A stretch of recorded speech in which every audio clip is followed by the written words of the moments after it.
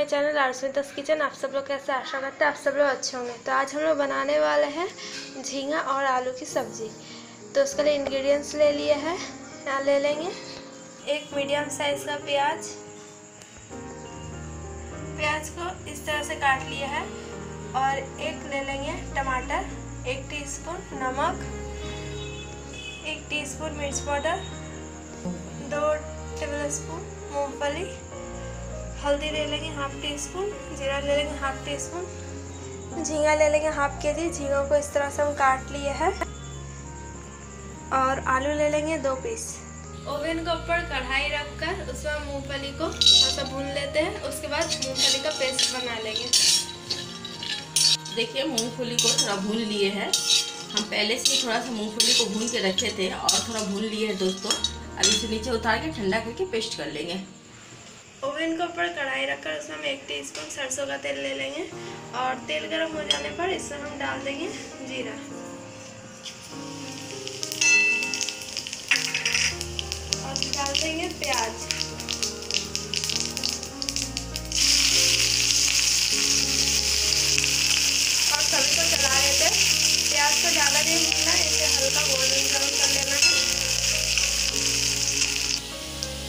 देखिए हल्का golden brown हो चुका है इसमें हम डाल देते हैं आलू। फिर चला लेंगे। और आलू को भी हल्का पका लेते हैं। देखिए, आलू को हल्का भून लिया इसमें हम डाल देते हैं टमाटर। और इसे भी भून लेंगे।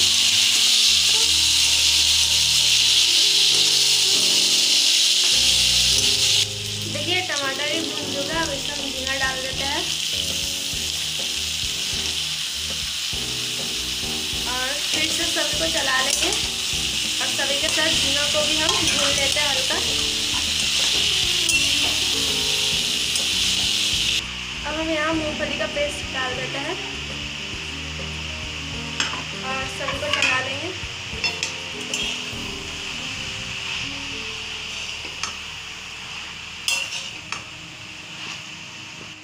अब इसी में डाल देते हैं हम हल्दी। और डाल देंगे हम लाल मिर्च पाउडर। और डाल देते हैं नमक। और सभी को हम चला लेंगे।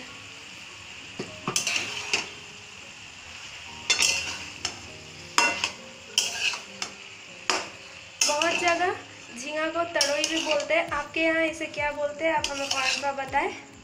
और अगर आप अभी तक मेरे चैनल को सब्सक्राइब नहीं किया तो सब्सक्राइब कर दें और बेल आइकन प्रेस कर दें। और इस तरह नए नए वीडियो देखने के लिए मेरे चैनल के साथ जुड़े रहें। और अगर आपको वीडियो अच्छी लगे तो इसे लाइक कर दें और शेयर कर दें। देखिए, हम इसे पानी ऐड नहीं किया है। झींगा खुद पानी छोड़ा है। इसे अच्छी तरह से हम चला लेंगे। अगर आप ज़्यादा तीखा खाना पसंद करते हैं तो इसमें दो हरी मिर्च चीरा लगाकर डाल सकते हैं। देखिए, दो मिनट के लिए हम सब्ज़ी को ढक दिए थे और दो मिनट बाद हम ढकना हटाकर देख लेते हैं और इसमें इतना सारा पानी छोड़ दिया है। देखिए, हम इससे पानी ऐड नहीं किए थे, पूरा पानी झींगा से निकला है। झींगा से ही निकला है और हमारा सब्ज़ी बन चुका है। अब इसे सर्व कर लेते हैं। देखिए, हम सर्व कर लिए हैं सब्ज़ी को। आप चाहे तो इसे रोटी पराठा या फिर चावल के साथ भी खा सकते हैं। ये खाने में बहुत ही अच्छा लगता है। तो आप इसे ज़रूर एक बार घर पर ट्राई करें और हमें कमेंट में बताएँ आपको रेसिपी कैसी लगी। और अगर आपको वीडियो अच्छी लगी तो इसे लाइक करें और शेयर करें। और मेरे चैनल के साथ इस तरह जुड़े रहें। और मेरे चैनल को सब्सक्राइब कर दें और बेल आइकन प्रेस कर दें।